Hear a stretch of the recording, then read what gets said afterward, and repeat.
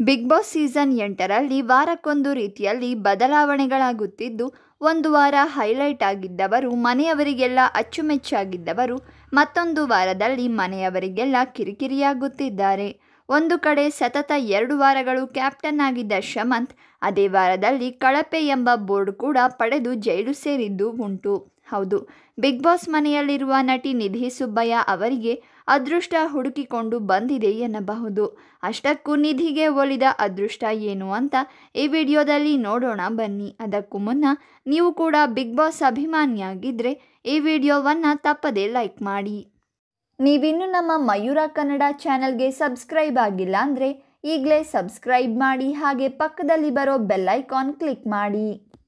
ನಾಲ್ಕನೇ ವಾರದಲ್ಲಿ ಮನೆಯ ಸದಸ್ಯರಿಗೆ ನಾಮಿನೇಟ್ ಮಾಡುವ ಅವಕಾಶ ನೀಡದೆ ಖುದ್ದು ಬಿಗ್ ಬಾಸೇ ಮನೆಯ ಎಲ್ಲ ಸದಸ್ಯರನ್ನ ನಾಮಿನೇಟ್ ಮಾಡಿದ್ದು, ಈ ವಾರ ಮನರಂಜನೆ ಕೊಡೋದ್ರಲ್ಲಿ ಹಿಂದುಳಿಯುವ ಸ್ಪರ್ಧಿ ಮನೆಯಿಂದ ಹೊರಹೋಗಲಿದ್ದಾರೆ ಎಂಬ ಲೆಕ್ಕಾಚಾರವಿತ್ತು.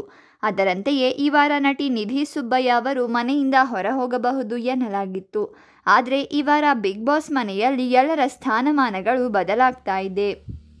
ಹೌದು, ಇಷ್ಟು ದಿನ ಹೈಲೈಟ್ ಆಗಿದ್ದ ದಿವ್ಯಾ ಉರುಡುಗ ಹಾಗೂ ದಿವ್ಯಾ ಸುರೇಶ್ ಇಬ್ಬರು ಸಹ ಹಿನ್ನೆಲೆಗೆ ಸರಿದಿದ್ದು ಇತ್ತ ಶುಭಪುಂಜ ಹಾಗೂ ನಟಿ ನಿಧಿ ಸುಬ್ಬಯ್ಯ ಇಬ್ಬರು ಸಹ ಗಾಸಿಪ್ ಅದು ಇದು ಅಂತ ಮಾತನಾಡಿಕೊಂಡು ಹೈಲೈಟ್ ಆಗ್ತಾ ಇದ್ದಾರೆ.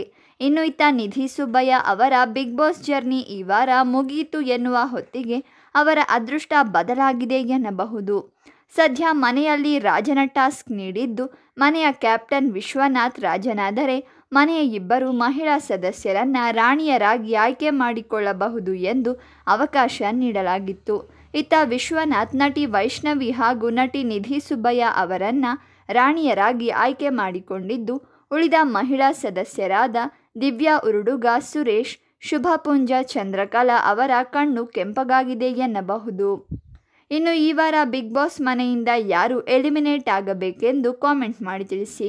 ಹಾಗೆ ವಿಡಿಯೋವನ್ನು ಎಲ್ಲರಿಗೂ ಶೇರ್ ಮಾಡಿ ಮತ್ತು ಬಿಗ್ ಬಾಸ್ ಡೈಲಿ ಅಪ್ಡೇಟ್ಸ್ಗಾಗಿ ತಪ್ಪದೇ ನಮ್ಮ ಚಾನಲನ್ನು ಸಬ್ಸ್ಕ್ರೈಬ್ ಮಾಡಿ.